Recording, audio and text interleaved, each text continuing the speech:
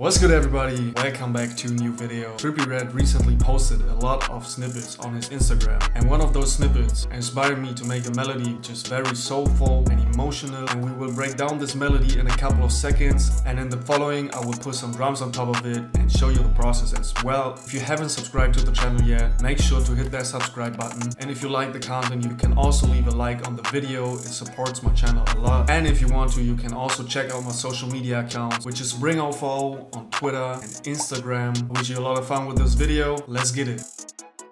Let's preview the melody first.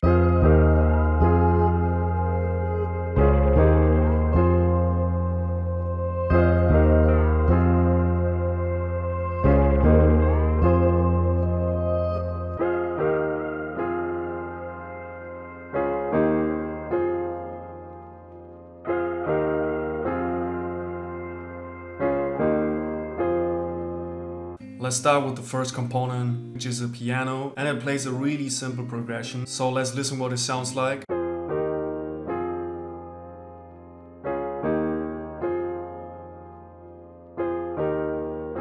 I did something pretty simple, which is nothing crazy but adds a whole different character to the melody, which is inverting these two chords by bringing the top note down one octave, and if you add the root notes of the chords and the bass, you get a more unique character for these chords.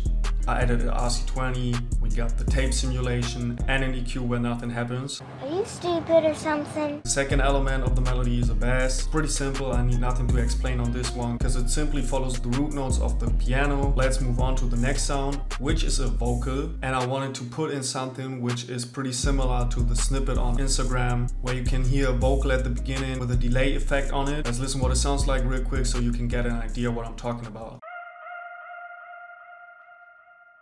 And in context with the chords, it sounds like this.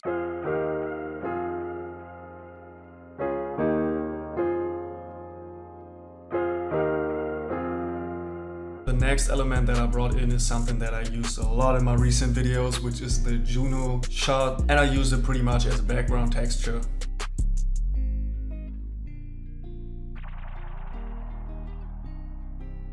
Then I brought in another texture element, which is an arp. As you can see, pretty simple, plays a simple note. If you just listen to it on its own, doesn't make sense at all, but in the context with everything else, it fits in perfectly.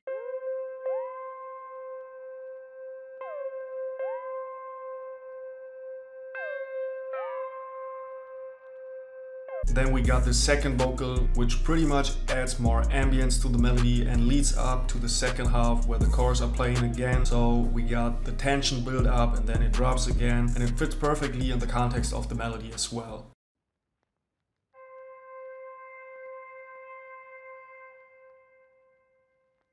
Then I moved on and grabbed this baby right here. And since I'm far away from being a decent guitar player, I had to play something simple, but I wanted something that I can put on top. I came up with this melody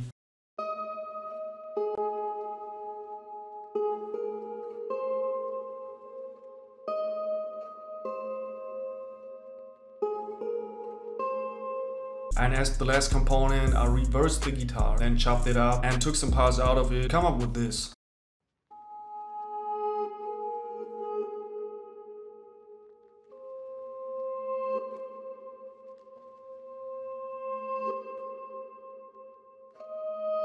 Let's move on, grab that, put some cool drums on top of it.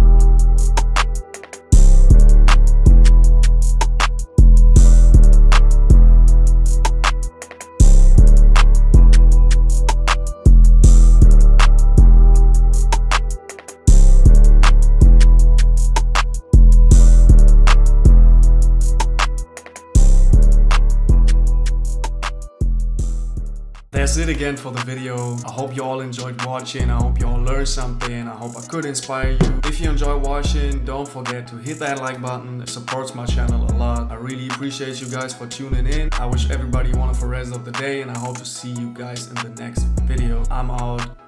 Peace.